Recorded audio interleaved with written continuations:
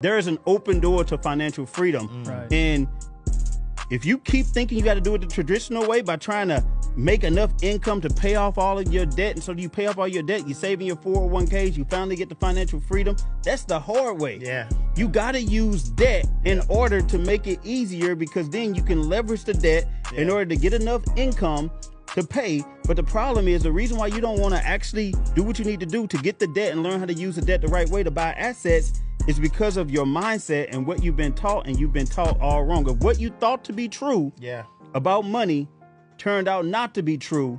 When would you want to know? Mm, now. The Bible says that you shall know the truth and the truth shall set you free.